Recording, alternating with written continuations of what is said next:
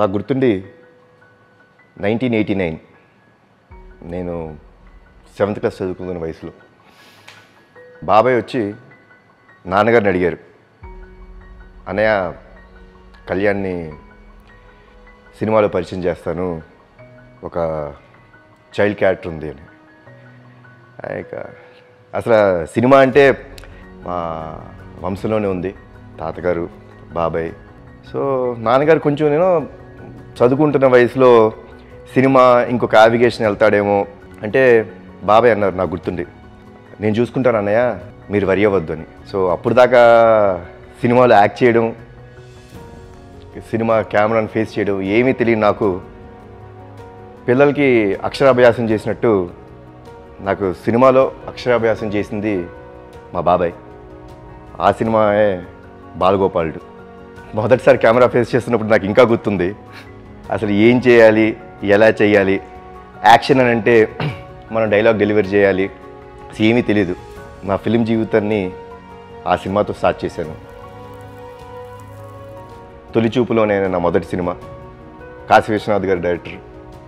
రామోజీరావు గారు ప్రొడ్యూసర్ అలా నా సినిమా ప్రస్తావన మొదలైంది ఇంకా అక్కడి నుంచి మీ అందరికీ అన్నీ తెలిసినవే నేను చేసిన సినిమాలు అవన్నీ సో బట్ యా ఆ రెండు సినిమాలు పెద్దగా ఆడలేదు సో అక్కడ first time when you know when you get failures I think ఆ టైంలో you start realizing what you have to become what you have to prove yourself అప్పుడు నాకు మొదలైంది యూనో ఆ జీల్ సినిమా అంటే ఏంటి అప్పుడు you know they was lot of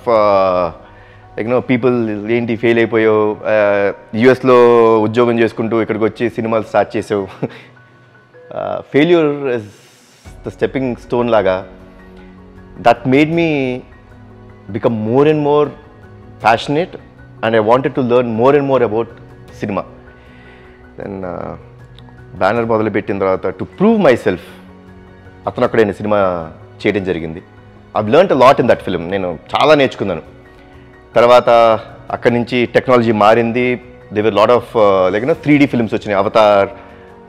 అలాంటి సినిమాలు వచ్చి చిన్న ఇన్స్పిరేషన్ అనిపించింది నాకు కూడా కొత్తగా ఏమైనా చేద్దాం అని చెప్పి త్రీడీని ఫస్ట్ టైం మన తెలుగు ఇండస్ట్రీకి తీసుకురావడం జరిగింది ఓం అనే సినిమా ద్వారా బట్ యా ఆశించినంత సక్సెస్ అయితే నాకు దొరకలేదు బాగా సాడ్నెస్ ఇచ్చింది దాని తర్వాత పటాస్ ఇవన్నీ చేస్తాం మొదలుపెట్టాం మేకింగ్ ఆఫ్ ద ఫిలిం మారిపోయింది ఈ రోజుల్లో సో అండ్ మన తెలుగు సినిమాలు have started growing very big for example Baahubali మన తెలుగు ఇండస్ట్రీకి ఒక ప్రైట్ ఫిల్మ్ అది విచ్ ప్యాన్ వరల్డ్ తీసుకెళ్ళిన సినిమా తర్వాత మీ అందరికి తెలుసు పాండమిక్ వచ్చింది so slowly we had to you know slow down on everything మళ్ళీ జనాలు థియేటర్కి వస్తారా లేదా ఏమవుద్ది అనే ఒక చిన్న టెన్షన్లో ఉన్నప్పుడు మనకి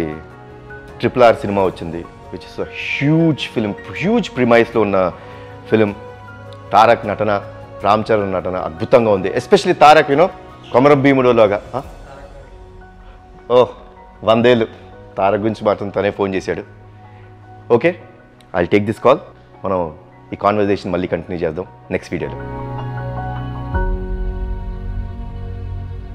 Hi Andy, this is Rupa Lakshmi. Please subscribe India Glitz Telugu. Hi, hello, this is Sagar K. Chandra, director of Bhimla Nayak. Please subscribe to India Glitz Telugu. Thank you. Hi, this is Neha Shetty. Please subscribe to India Glitz Telugu. Hi, this is Isha Reba. Please subscribe India Glitz Telugu.